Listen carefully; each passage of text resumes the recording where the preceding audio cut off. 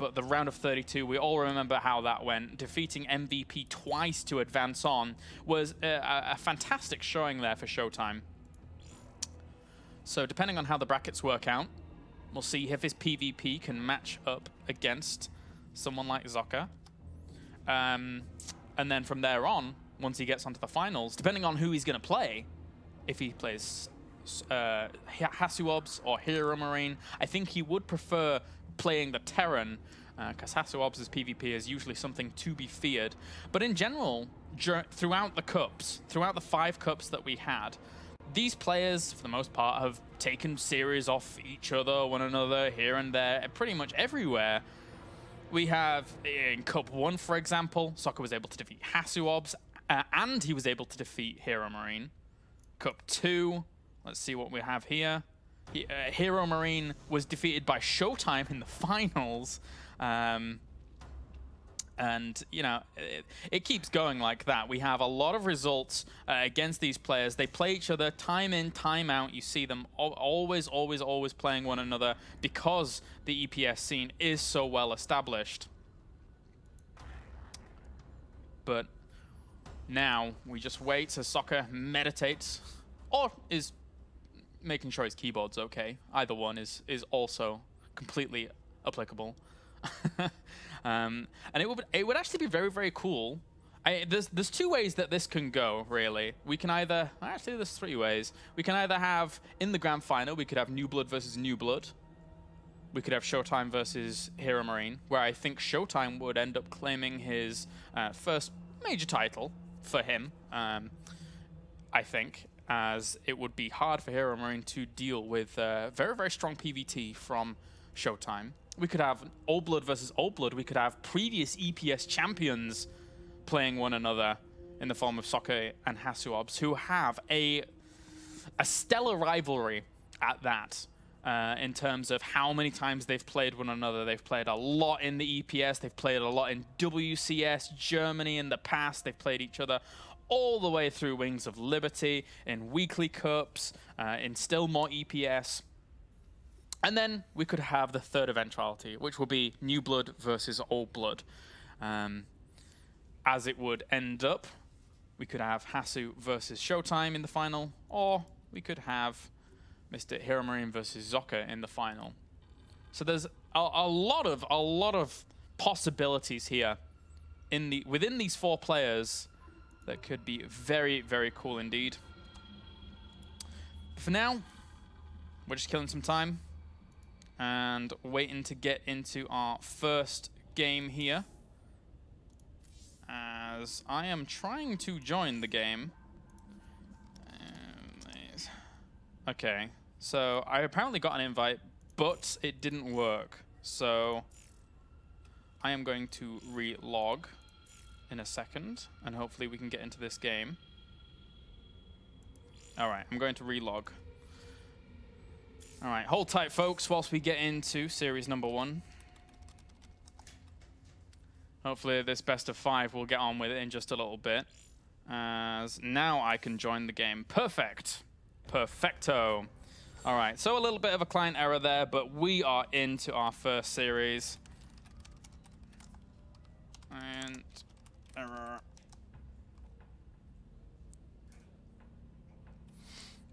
Alrighty, so Bel'Shir Vestige will be our first map.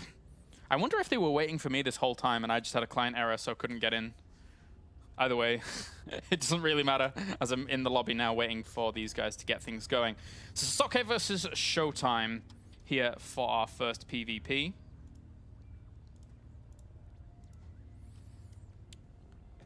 As these guys are just waiting for the first game. I hope guys out there, guys and girls, are going to have a nice Christmas. I intend to head over to England eventually so that I can see my family after a long, long time of actually being away. It's been quite a while. But now, guys, countdown's begun for game number one here in our first series. Between Socke and Showtime, it's about time. I gotta say that. I am looking forward to this. Uh, we had a few delays at the very beginning. Apologies for that. We had our FIFA tournament that did run over just a little bit. Uh, but now we have some StarCraft action on the way for you. A big thank you for joining me on the stream already. as we can now jump into game number one here for the semi-final as we have spawning down to the bottom right-hand corner as our blue Protoss. He is ESC Showtime. And up to the top left, we have our red Protoss. He is ATN Socke. Now, the interesting thing about how we see Socke in terms of, I, I, would say not only a national scene, but on an international level as well, is that for, for a good portion of time during Heart of the Swarm, Socke just, let's be frank, hasn't done too much. Where has Socke been? Well, Socke's been practicing, Socke's been training hard, and this recent EPS season, he's really shone. He really has. He, he finished top of his, the initial the initial cup stage in terms of points. Uh, and then when it came to the uh, the group stage, uh, finished second in his group, but still advances on to the semi-finals. As you can see here, Showtime looking around, making sure that nothing too crazy is going on from Socke. Playing this best of five out very, very diligently, very defensively. And a slightly slower gateway here than we're seeing from Socke. That's in part because we saw Showtime scouting out for the potential of a proxy a little bit quicker than his opponent. But at the same time, Socke did have that a little bit quicker as well. So his pro production is lining up nicely. And doesn't cut it too much at all.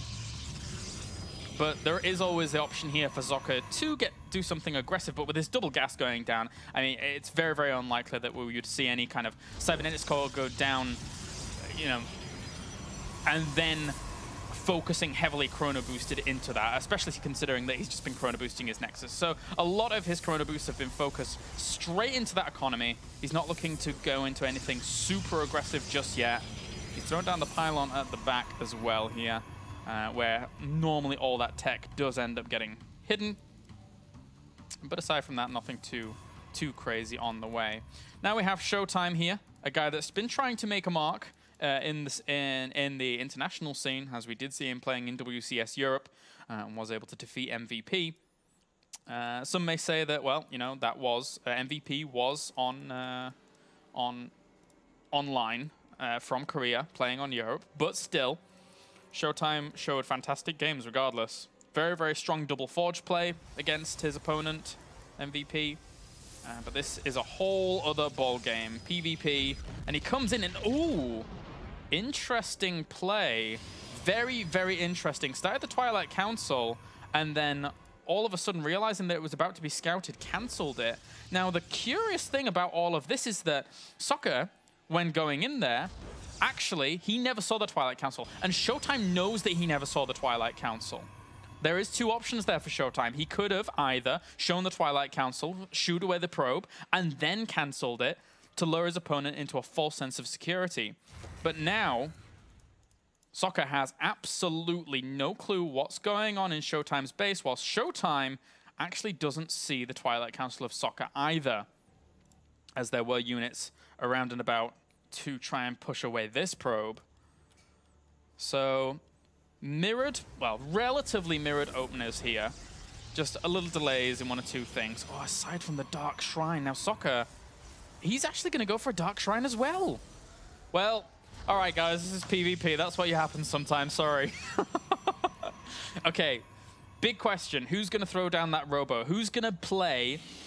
Who's going to play defensively? Who is going to be the guy that sets themselves up uh, to not completely get caught off guard? And we already have Showtime throwing down that robo. Now, will Socke? Socke does as well. PvP. oh, this is fun uh, from the very beginning. pylon down here for Socke, pylon up here for Showtime. Once again, neither player has really seen the Twilight Council of their opponent, so they can't really predict that there's going to be a Dark Shrine, but they are obviously taking something like that into account. Very aggressive pylon here for Showtime. I think that probe was trying to make an expansion, uh, as is the build-up here from Socke. Showtime realized that and tried to block it off for just a second. Uh, and obviously, I mean, that probe could have never gotten in here to actually see what was going on, thanks to the fact that there is an abundance of Stalkers But now we do have Showtime going for the expansion. And Showtime knows that he's relatively safe with that expansion. I mean, yes, there's a few Stalkers moving across the map here for Socke, uh, but he would never have an Observer over the other side of the map in due time since he, well, he doesn't exactly know that he would never have an Observer over there in due time. But because of the build that we're seeing here, because it is so mirrored, um, he saw that there was a attempt at a Nexus here with the probe, and this Dark Templar is actually going to get in. That Observer really needs to come back very, very quickly. Photon Overcharge already killed off three workers, but at the same time, the Stalkers are pressing their advantage. He actually had to force field that off because he didn't have his Observer out over this other side. Uh, and this did get cleaned up. Five workers actually dead. Dark Templar will come along and try and help this out. Four Stalkers and a Dark Templar versus four Stalkers and a Sentry, plus Mothership Core with Twi uh, Time Warp. But in the end, Socke would win out that battle. That Dark Templar, with just one or two hits, did provide a significant advantage in terms of DPS, for a second at least until it died off. And now, one extra one's going to be warped in to eventually shoo this away. Okay, bye-bye, Stalker. Your time was nigh. All right, so during all of that, 33 workers to 27 in favor of Showtime. Uh, Socke, though, he's chrono boosting profusely across double Nexus. Very, very important after you've actually lost a few workers to your opponent's Dark Templar, uh, which in total, obviously, killing five workers off, did leave Showtime at a little bit of an advantage. Uh, and Socke's going to press in again. I don't think he can do too much with this. Uh, although, the fact that he got a Photon Overcharge out of his opponent and got an Observer without losing anything was really, really good there by Socke. He doesn't want to overextend. He doesn't want to lose too much. He's going to try and sneak a Dark Templar in. This is a clever, clever play considering the fact that he just sniped out that Observer. Very, very impressive here in game number one by Socke. Despite taking uh, five probe losses early on, he will get the four, and behind that, 38 to 35, thanks to him chrono boosting these Nexi constantly. So cool play, but where do they go from here? That's the big question. Showtime right now, he's just chrono boosting out Immortals where he can, uh, which I do love, especially since one one big, big key aspect to this is both players know that the other has Dark Templars. So as such, they have access to a Twilight Council. So what really stops so a player like Socke from saying, hey, at this point in time, maybe Blink would be a good idea. Or Charge, to prove me completely wrong. but Charge in turn is basically the, the direct counter to what I was saying. So Socke is thinking on another level of how I'm thinking in terms of the flow of this game, at least. Uh, Immortals are coming out. Zealots with Charge are always a fantastic uh, choice when it comes to dealing with that. And I'm wondering now, actually, if he went in there with a Dark Templar and spotted that or whatever. Regardless of that fact, though, he knows generally that Immortals are going to be a pretty keen follow-up. Uh, and as such, Zealots are Zealots with Charge are fantastic. I love Zealots with Charge. Almost as much as Sean does, but not quite. All right, well, Warp Prism did get spotted there for a second by Showtime, but did he see it is the big question, uh, as there's going to be a Warp Prism heading out for Showtime. He's actually going to go for Immortal Harass, which is pretty cool. Uh, and the fact that he actually doesn't have Blink is going to hurt uh, Socke a little bit in terms of defending against the Warp Prism initially, uh, but then once he positions his Zealots, he should be right and dandy. And regardless of that DT Warp in, that Zealot does end up getting the Pylon, so... Warp Prisms pass one another in the night. And, well, three more gateways get thrown down. Socke does have a a upgrade advantage in terms of having his forge out pretty early, and he got a few probes there once again in Showtime. So nice harassment. That hallucinated Phoenix coming in at the angle that it did uh, gave him a bit of forewarning as to whether or not there were going to be some units trying to attack this. Uh, but in the end, he decides to pull out. There was one Zealot there at least warped in. Uh, and he also got really, really good visual confirmation as to what exact composition we're seeing out from Socke. And the Dark Templar ends up dying off. Right now, 9 workers killed to 4 still. 48 workers in total to 56 in favor of Showtime. But Socke's, he's pulling no punches, man. He's just going straight for that third base. And if he gets that up, his economy is going to be great. He's adding on Archons, whilst actually not getting the Robo Bay? Yes, he never got the Robo Bay. So he's going to be playing an exclusively Immortal Zealot Archon style while still getting harassed. There's not a whole lot you can do against that at this point in time, unless he separates his units up properly. And Zealots, you know, just situated in odd locations are a great way to deal with that. But Socke moving across the map. He's got a Stargate on the way and everything. It's This is just a show of muscle more than anything. I really don't see how Socke could do any big, big uh, infliction of damage here. Be very difficult to really wiggle through, but at the same time, going for the third expansion. I guess he's trying to draw his opponent away from that front, uh, from the front of this third base with this army moving out, but he's actually going to throw up the Guardian Shield. He's actually going to go for this. Zealot's dropped right next to that Colossus, messing around with some of the targeting. There's two Archons powering on forwards here with great Guardian Shield coverage by Socke. No Guardian Shields at all for Showtime, and the Zealot warping as well. All the while, Socke's army has made it very, very difficult for the big, big meaty units there of Showtime to do much of anything. That was a awesome engagement there by Socke.